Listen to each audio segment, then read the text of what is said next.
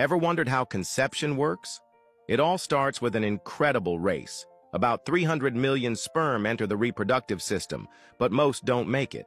Some get lost, while others can't survive the body's natural defenses. The strongest ones swim through the cervix and into the uterus, where the immune system attacks them, thinking they are harmful invaders. Only a few thousand reach the fallopian tubes, where tiny hair-like structures called cilia help guide them toward the egg. As they get closer, chemical changes give the sperm extra energy to push through the egg's protective layer. Finally, one sperm successfully enters, and the egg instantly blocks all others.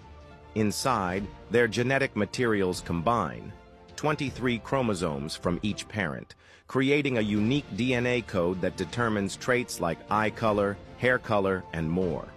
This first cell, called a zygote, starts dividing and moves to the uterus, where it implants and grows for the next nine months into a new human life. And that's how conception happens.